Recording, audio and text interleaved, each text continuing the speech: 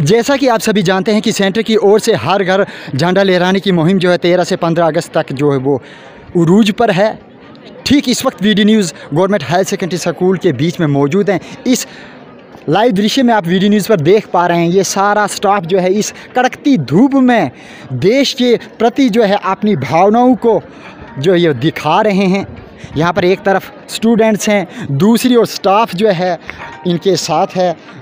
तो फ़िलहाल यही एक आ, कोशिश है हमें आपको ये विजुअल्स लाइव दिखाने के लिए। अब आपको मैं यहाँ पर इस मुहिम के बारे में थोड़ी इन्फॉर्मेशन लेते हैं कि इन बच्चों के इन बच्चों को आखिर इस मुहिम के बारे में कितना जो है वो इन्फॉर्मेशन है और क्यों यहाँ पर बैठे हैं। तो आप ये बताएँगे कि क्या क्यों आप यहाँ पर आज बैठे आपका क्या उद्देश्य है यहाँ पर आज? हम यहाँ पे इसलिए हैं कि हम चाहते हैं कि हाँ हर घर में झंडा हो। हर घर में झंडा लहराने की मुहिम को आप आगे प्रमोट कर रहे हैं। तो इससे क्या आपको लगता है कि देश के प्रति जो है भावनाएँ व्यक्त होंगी? हाँ हो सकती हैं। तो ये आप सारे देख रहे हैं। अब ज़्यादा समय नष्ट ना करते हुए हम आगे और बढ़ते हैं। हमारे देख पा रहे होंगे, ये पूरा हायर सेकेंडरी स्कूल चिनैनी का स्टाफ है। इन स्टाफ को लेके हम रूबरू होते हैं कि आखिर इनको जो है देश के प्रति या इस मुहिम के प्रति क्या कहना चाहेंगे? सर, सबसे पहले आप जो है इस मुहिम के बारे में क्या बताना चाहेंगे? ये हमारे प्रधानमंत्री मोदी जी ने जो इस साल मुहिम चलाई है, हमारे आज़ादी के पचहत्तर साल पूरे होने पर जो आज़ादी का अमृत महोत्सव जो यहाँ पे चलाया जा रहा है। उसके तहत हम घर घर ये मुहिम पहुँचाने जाते हैं, जैसे हर घर झंडा, हर घर तिरंगा जो है इस बार लहराना चाहिए। जिससे आम लोगों को पता चले कि आज पचहत्तर साल होने, पूरे होने जा रहे हैं और एक देशभक्ति की भावना उनके मन में डेवलप होगी। आपने जो, चूँकि आप एक उस हैं। आपने बच्चों को आज तक इस मुहिम को स्टार्ट करने से पहले क्या ऐसा टिप्स या रणनीतियाँ जो है बताई कि ताकि एक मैसेज जो है परफेक्टली, डायरेक्टली जो है ऑडियंस तक जाए? आपने उनको क्या एक मैसेज दिया?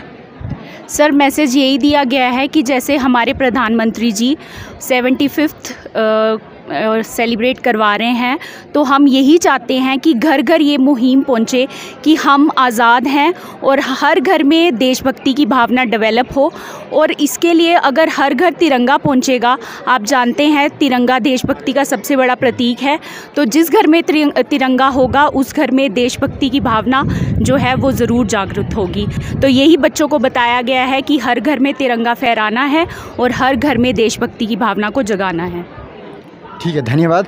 अब हम आप आगे बढ़ते हैं। सर, सबसे पहले आप अपना परिचय देंगे और इस मुहिम के बारे में, ये कैसी मुहिम है? मैं Vishnu Sharma, incharge principal higher secondary school, Chenani.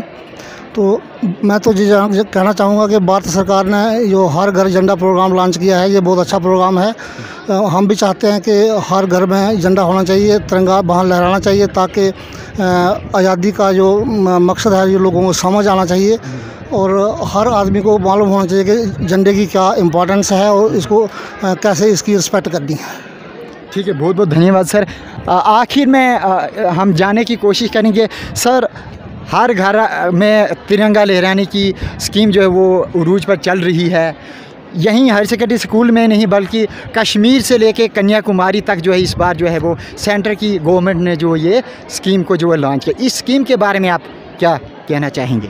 ये बहुत अच्छी स्कीम है और जो है आज हमारी जो है मुल्क को आज़ाद हुए पचहत्तर साल हो गए हैं और पचहत्तर साल ये इंडिकेट होना चाहिए पता चलना चाहिए दुनिया को कि हमें पचहत्तर साल हो गए आज़ाद हुए और हम आज़ादी का जश्न पचहत्तरवा बल्कि छिहत्तरवा मनाने जा रहे हैं तो आज अभी तक आज़ादी नहीं मिली देश को क्या? आज़ादी मिल चुकी है बहुत अच्छी आज़ादी और कितने पचहत्तर साल से तो आज़ाद हैं। अब तो कम अज़ कम झंडा लहराने का मतलब ये कि हर एक हम दुनिया वालों को भी बताएँ ना कि हम पचहत्तर साल हो गए आज़ाद हुए।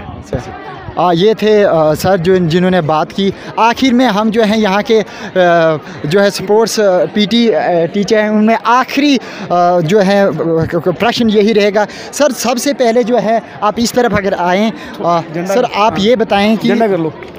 आप ये बताएँ भक्ति। पहले भक्ति होती है। चाहे हिंदू हो मुस्लिम हो सिख हो ईसाई हो। भक्ति सबसे पहले आती है। अगर आप हिंदू हैं तो आप हिंदू अपने रीति रिवाज के माध्यम से आप भक्ति शुरू करेंगे। लेकिन क्या भक्ति और देश के प्रति जो ये लोग यहाँ पर कड़कती धूप में लोग ये जो विद्यार्थी खड़े हैं क्या इनको पहले मज़हब की भक्ति करनी चाहिए या देश की भक्ति करनी चाहिए? सबसे पहले इनको देश की भक्ति करनी चाहिए। क्योंकि राष्ट्रभक्ति जो है वो ही सबसे बड़ी है। मज़हब तो बाद में आता है। क्योंकि मज़हब हमारे लिए तभी ही रहेगा जब हमारा राष्ट्र रहेगा। अगर मज़हब, अगर राष्ट्र ही नहीं रहेगा तो मज़हब हिंदू हो मुसलमान सिख हो, ईसाई हो, ये तो सवाल ही नहीं पैदा होता। तो फिर तो हम पीछे 200 साल पहले चले जाएँगे जैसे हमें अंग्रेज़ों ने गुलाम बनाया था। तो इसका मतलब यही है कि हमारे लोगों को अब, अभी तक ये मालूम नहीं है कि हमारा राष्ट्रीय ध्वज है कौन सा है, कि कितने कलर हैं इसमें। ये प्रधानमंत्री जी ने ये 75 जो आज़ादी का अमृत महोत्सव का जो बनाने का जो उनका यही एक सपना था कि हर घर में हर एक जो इंसान है हिंदुस्तान में रहने वाला, उसके अंदर देशभक्ति जागे, ताकि ये देश जो है मज़हब के नाम पर तरक्की ना करे, एक राष्ट्र की राष्ट्र की प्रगति राष्ट्र की तरह प्रगति करे। बहुत बहुत धन्यवाद, सर।